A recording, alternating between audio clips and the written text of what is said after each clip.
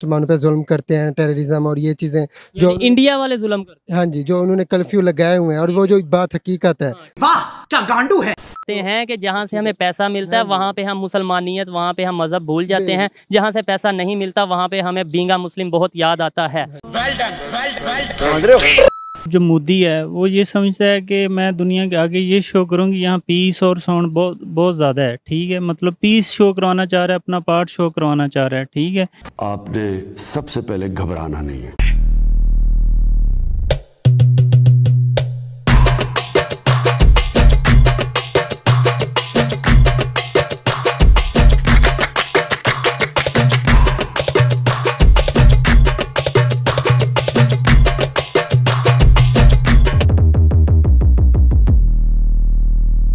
Next year G twenty summit होने वाला है और उसको होस्ट करेगा भारत। यहाँ तक तो सारे मसले सही है। तो मोदी जी ने खेला एक मास्टर स्ट्रोक मास्टर स्ट्रोक ये है कि जी ट्वेंटी की जितनी भी मीटिंग्स होगी, उनमें से कुछ मीटिंग्स होगी जम्मू एंड कश्मीर में। ये सुनना था कि पाकिस्तानी तो बिल बिला गए, तड़प गए। आपने वो कहावत तो ज़रूर सुनी होगी, एक लोमड़ी होती है, अंगूर खाने के लिए जाती है, बहुत उछलती है, लेकिन अंगूर उसके हाथ नहीं आते। तो आने के टाइम पे बोलती है, अंगूर ही खट्टे। यही हालत पाकिस्तान की हो चुकी है। पाकिस्तान भारत का इस मसले पे कुछ कर नहीं सकता है, कुछ बिगाड़ नहीं सकता है, कुछ उखाड़ नहीं सकता है, लेकिन ऐसी एक हरकत कर सकता है कि जिससे कि वहाँ पर मीटिंग ही ना हो और वो आप समझ जाओ कि पाकिस्तान किस चीज़ का सहारा लेगा जिसके अंदर वो एक्सपर्ट है आतंकवाद का। सही बात है। ये तो थी मुद्दे की बात। अब आते हैं असली मुद्दे पे। ठीक है। अब असली मुद्दा यह है कि जब इतना बड़ा प्रोग्राम हो रहा है तो पाकिस्तान के जो रिपोर्टर है वो जो माइक उठा के निकल जाते हैं।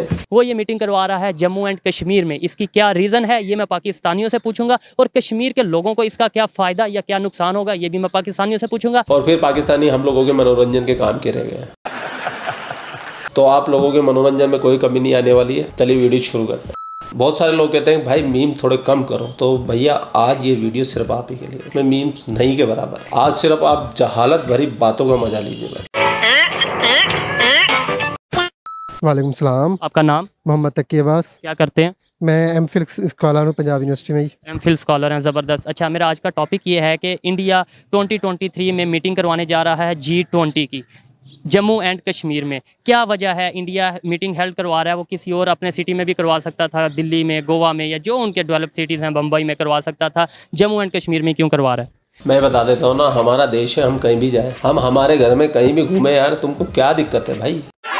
देखें जी इसकी सबसे बड़ी वजह जो सामने नज़र आती है कि जैसे हम पाकिस्तान ने जम्मू कश्मीर के बारे में इश्यूज़ उठाए हैं वर्ल्ड लेवल पे तो इसका यही इशू हो सकता है कि वो मीटिंग वहाँ पे करवा के ये शो करवाना चाह रहा हो कि जी जम्मू कश्मीर में ऐसा कुछ भी नहीं है मुसलमान सेव हैं ये है वो है तो वो दुनिया को उस जो दुनिया के इंडिया का जो इमेज बन चुका हुआ है दुनिया के लिए। क्या इमेज बना है इंडिया यानी कि ये जो हम पाकिस्तान एजेंडा यूएनओ में उठाया है कि जी ये मुसलमानों पर जुल्म करते हैं टेररिज्म और ये चीज़ें जो इंडिया वाले जुल्म करते हाँ जी जो उन्होंने कर्फ्यू लगाए हुए हैं और वो जो बात हकीकत है ठीक है लेकिन उन्होंने दुनिया से छुपाया हुआ है और वो मानते नहीं है इस बात को। तो अब यही बात अब क्योंकि पिछली हुकूमत में या जो भी पाकिस्तान पिछले दस सालों में इस चीज़ पे काफ़ी काम किया पाकिस्तानियों ने और वर्ल्ड लेवल पे इस चीज़ को निकार इस बात को सब दुनिया के सामने हैं रखा पाकिस्तानियों ने बहुत काम किया है। तो मैं इसी से आपके बात से क्वेश्चन निकलता है वो ये कि आप ये बताएँ कि सिर्फ़ आवाज़ उठाना या इशू को रेज करना ही हर मसले का हल होता है। हम अगर पाकिस्तानी या पाकिस्तान गवर्नमेंट ये कहती है कश्मीर हमारा हिस्सा है हमने कश्मीर की डेवलपमेंट के लिए पचहत्तर सालों में क्या किया? कोई ये काम बताएँ।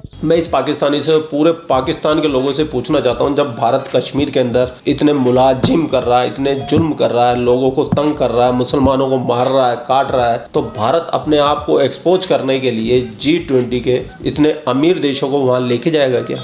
नहीं। सोचने वाली बात है सोचने वाली अगर तुम्हारे में इतनी सी भी बुद्धि नहीं चिन्नी सी भी तो सोचो अपने आप को एक्सपोज कौन करता है? वो मीटिंग वहाँ पे करवा के ये शो करवाना चाह रहा हो कि जी जम्मू कश्मीर में ऐसा कुछ भी नहीं है। इन पाकिस्तानियों में कोई दिमाग नहीं होता है। नहीं ये बात आपकी बिल्कुल ठीक है की हम और फिर इंडिया ने क्या किया? इंडिया क्या किया? ये बात आपकी बिल्कुल ठीक है कि हम सिर्फ़ बातें करते हैं ठीक है और कुछ नहीं करते। लेकिन जो इंडिया कर रहा है वहाँ के स्पेशली मुसलमानों के लिए। आप वहाँ की जाके जीडीपी देखना कश्मीर की वहाँ पे जाके जो प्रोजेक्ट्स आ रहे हैं डेवलपमेंट के हवाले से वो देखना। वहाँ पे जो जो कंट्रीज़ गल्फ कंट्रीज़ वहाँ पे इन्वेस्टमेंट कर रही है वो देखना। फिर ये देखना कि सारा कुछ इंडिया की तरफ़ से हो रहा है पाकिस्तान क्यों नहीं कर रहा? अगर पाकिस्तान यानी मैं आप ये चीज़ का अ, करते हैं ब्लेम करते हैं कि कश्मीर हमारा है तो कुछ करते क्यों नहीं? सिर्फ़ आवाज़ उठा देना या एक साल में में एक दिन कश्मीर डे मना के पूरा साल उस पर सियासत करना काफ़ी है। नहीं बात सुनिए आपको पता ही है कि पाकिस्तानी अपने मुल्क के लिए क्या करें उसके लिए क्या करें।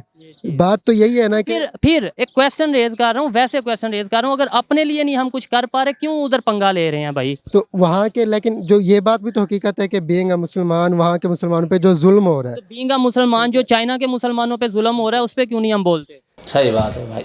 ये पॉइंट बहुत बढ़िया उठाए वहाँ पे जो इधर 120 दिन का 150 दिन ठीक है दिन का कर्फ्यू लगता है वहाँ नहीं लगता। वहाँ पे बंदे सीधा सीधा लटका दिए जाते हैं जो थोड़ा सा भी रियासत के खिलाफ बोलते हैं। जी, मुझे शायद पता हो। मुझे पता है इस बात का भी ठीक है आप वहाँ पे आज तक आज तक गवर्नमेंट की तरफ़ से पाकिस्तान की गवर्नमेंट की तरफ़ से कभी चाइना के मुसलमानों के लिए कुछ आवाज़ उठाई गई है। वहाँ पे हम बींगा मुस्लिम क्यों नहीं बन जाते? वहाँ फिर वही बात आ जाती है कि वो जी हमें फिर कर्जा देते हैं। ये फिर हमारी मुनाफ्त नहीं है। बात ठीक है आपकी बात ठीक है मुनाफ्त वाली बात भी आपकी ठीक है कि पाकिस्तान की सियासत जो आजकल चल रही है आपको पता है ठीक है सारा कुछ यही चल रहा है। ठीक है। ठीक है अगर हम इस बात को लें कि क्या नाम है कि जी उसके लिए बोल रहे हैं उसके लिए नहीं बोल रहे तो फिर बात ये है कि अगर हम उसके अगेंस्ट बोलेंगे चाइना को तो कल को उसने भी हमारे लिए बंद कर देनी है सारी एड मिलनी बंद हो जाएगी। यही तो बातें हैं ना यही बातें हैं कि जहाँ से हमें पैसा मिलता है हाँ वहाँ पे हम मुसलमानियत वहाँ पे हम मज़हब भूल जाते हैं। जहाँ से पैसा नहीं मिलता वहाँ पे हमें बींगा मुस्लिम बहुत याद आता है हाँ जो। कि बुरी बात है। और लास्ट में ये बताएँ कि ये जो मीटिंग होने जा रही है इससे कश्मीरियों को कोई फ़ायदा होगा? मुझे नहीं लगता कि कोई फ़ायदा होगा। ठीक है हाँ ये हो सकता है कि जो वहाँ के मुस्लिम कम्युनिटी है उल्टा उन पे जो इंडिया का दबाव है वो और बढ़ जाए। जैसे कि पाकिस्तानियों ने ये, ये इस्लामिक ऑर्गेनाइजेशंस की मीटिंग यहाँ पे करवा के जी पिछली हुकूमत ने बड़ी वाह वाह करवाई है। सेम यही अब इंडियन हुकूमत करने जा रही है वो वहाँ पे मीटिंग करवा के। इस्लामिक कंट्रीज़ की मीटिंग और जी ट्वेंटी की मीटिंग में बहुत ज़्यादा फ़र्क है बहुत ही ज़्यादा फ़र्क है। लेकिन मैं आपको बता दूँ कि अगर वहाँ पे जी ट्वेंटी की मीटिंग होती है तो वहाँ पे पूरी दुनिया में जो उनका एक इमेज है थोड़ा सा बेहतर होगा। ठीक है? उसके अलावा वहाँ पे इन्वेस्टमेंट आएगी। उसके अलावा वहाँ पे टूरिज़्म आएगा। दुनिया को पता चलेगा कि कश्मीर सेफ़ एंड साउंड है। अगर इतनी बड़ी मीटिंग इतने बड़े लेवल की इंटरनेशनल लेवल की मीटिंग वहाँ पे हो रही है इसका मतलब है हम लोग भी वहाँ जा सकते हैं। ठीक हो वालेकुम अस्सलाम। आपका नाम? मोहम्मद अब्बास। मोहम्मद अब्बास थोड़ा सा ऊँची बोलिएगा। क्या करते हैं? मैं स्टूडेंट हूँ। स्टूडेंट हैं। मेरा आज का क्वेश्चन ये है कि इंडिया 2023 में जम्मू एंड कश्मीर में जी ट्वेंटी की मीटिंग करवाने जा रहा है। जम्मू कश्मीर में क्यों करवाने जा रहा है? इसके अलावा वो दिल्ली में, गोवा में या जो भी उनके डेवलप सिटीज़ हैं, वहाँ पे भी करवा सकता था।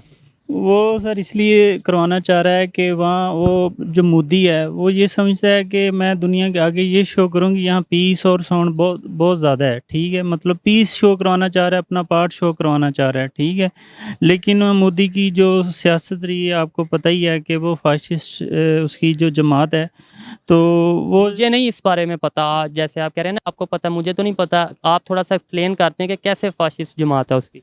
सर उन्होंने हमेशा जो है एंटी मुस्लिम है उसके ख़िलाफ़ काम किया है। है। और उसके अलावा जितनी भी मतलब कोई टेररिज्म है या मत, बोला वो एंटी मुस्लिम है मैं थोड़ा सा आपको बता दूँ कि अफ़गानिस्तान में जो भी जल्जला आया ना उसमें जो सबसे पहले जिस कंट्री ने हेल्प की है उनकी वो इंडिया है। और इंडिया में मोदी जी की गवर्नमेंट है और अगर मोदी ने सबसे पहले हेल्प की है मुसलमान कंट्री की तो कैसे हम कह सकते हैं कि वो एंटी मुस्लिम है? उसने मुसलमानों की वहाँ मदद नहीं की उस किसकी की? उसने वहाँ अपना जो असर सहूक है ना उसको कैम करने के लिए मेंटेन करने के लिए ताकि वो पाकिस्तान में इन्फ्लुएंस कर सके अपने जो उसको मफादात हैं उसको वो मेंटेन करने के लिए और उनको गेन करने के लिए उसने कौन है ये लोग? ये सच्चा पाकिस्तानी है भैया ये बिल्कुल सच्चा पाकिस्तानी है बिल्कुल जो सोच है बिल्कुल आतंकवाद वाली है जिहाद वाली है ये पाकिस्तानी है भैया।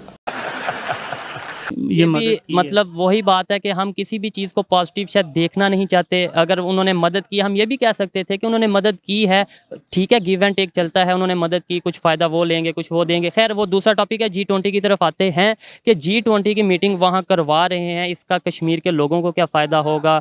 कश्मीरियों को क्या फ़ायदा होगा इंडिया को क्या फ़ायदा होगा पाकिस्तान को क्या फ़ायदा या नुकसान होगा? सर देखें कि पाकिस्तान को तो कोई फ़ायदा नहीं होगा क्योंकि पाकिस्तान को तो डेफिनेटली नुकसान होगा सफारती लेवल पे भी और हर जगह पे क्योंकि पाकिस्तान यही शोर का- करा रहा है कि ये हमारा पार्ट है और यहाँ पीस नहीं है। वो करवा रहा है नहीं? नहीं है मतलब एक्चुअल में भी है ये नहीं कि नहीं Actual एक्चुअल में भी है। ये खुद आके देख के गया था या इसके परिवार वाले आके देख के गए थे एक्चुअल में हो क्या रहा है। और ताकि पाकिस्तान यही चाह रहा है कि जी हमारा पार्ट है और इंडिया कह रहा है कि हमारा पार्ट है।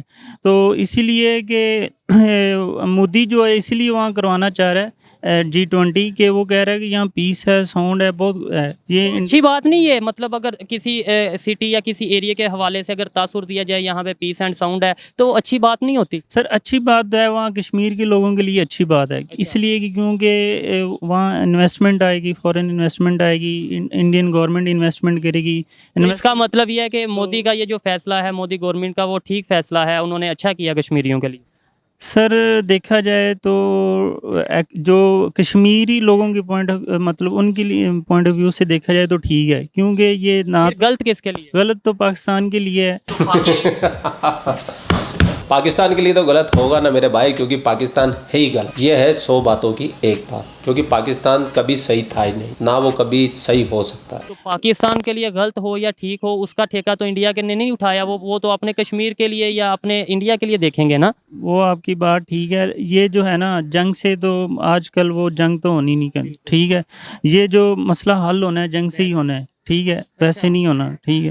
तो बेहतर यही है कि पाकिस्तान को भी अपना जो है इससे बैक आना चाहिए स्टैंड बैक होना चाहिए ताकि वहाँ के लोगों के लिए आसानियाँ हों। मैं पाकिस्तानी हूँ और मैं भी शुरू से बचपन से यही आप भी सुनते हैं या स्कूलों में हमने भी पढ़ा आ, आ, और आपने भी पढ़ा होगा कि कश्मीर बनेगा पाकिस्तान और कश्मीर पाकिस्तान का हिस्सा है। इसलिए हमारे दिमागों में बैठ चुका है कि कश्मीर पाकिस्तान का हिस्सा है। लेकिन अब हम ये चाहते हैं कि कश्मीर कश्मीरियों का है और कश्मीर के लोग सुकून में रहें, चाहे वो पाकिस्तान के साथ रहें, चाहे वो इंडिया के साथ रहें, चाहे वो अकेले रहें, मेरा पॉइंट ऑफ़ व्यू ये है कि वो बस सुकून में रहें, उनकी तरक्की हो। तो भैया, आपका पॉइंट ऑफ़ व्यू आप अपनी जेब में रखिए। जो कश्मीर है, वो भी भारत का है, जो पीओ के, जिसको आपने कब्जा किया हुआ है, वो भी भारत का है। जो कश्मीर को लेने के तुम सपने देख रहे हो पिछहत्तर साल से, वो तो तुम्हारे कभी पूरे हुए नहीं, आने वाले और साढ़े सात सौ साल तक पूरे नहीं होंगे लेकिन जो पीओ के आपके पास है जिसपे आपने कब्जा किया हुआ है, वो भी हम आपसे ज़रूर लेंगे। अब मेरी इस बात से कौन कौन सहमत है, वो अब अपनी राय कमेंट के अंदर रख दीजिए कि भैया पीओ के आपको चाहिए तो जल्दी से कमेंट्स कीजिए और ये वीडियो को इतना शेयर कर दीजिए कि मोदी जी तक पहुँच जाए, कि भाई पीओ के वापस चाहिए हमको।